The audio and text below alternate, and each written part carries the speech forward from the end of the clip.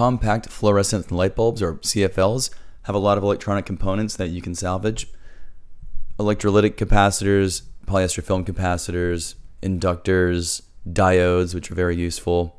I get a lot of parts for my synths from these light bulbs. So every capacitor that I use and every diode that I use came from one of these. To open it, use a hacksaw to go around just a little bit until you can see inside and break the seal. It'll become loose and you can fit some pliers inside to break the plastic apart and make it easier to get to. Two wires connected to where it screws in. Pull those out. These next two wires are connected to the bulb itself, so be careful. You don't want to break the bulb. There is mercury vapor in there. And also be sure to dispose of these carefully. These literally are the Easter eggs of electronics. Go ahead and crack one open and see what you find inside.